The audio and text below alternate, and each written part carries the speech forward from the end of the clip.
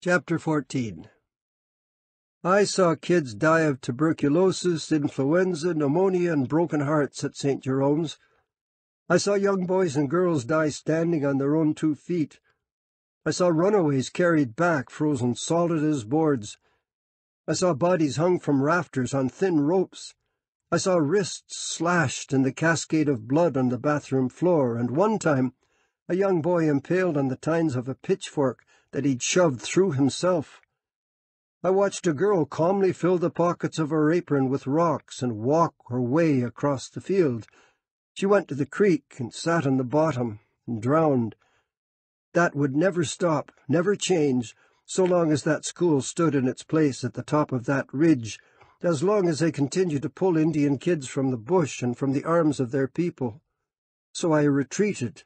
That's how I survived, alone, when the tears threatened to erupt from me at night, I vowed they would never hear me cry.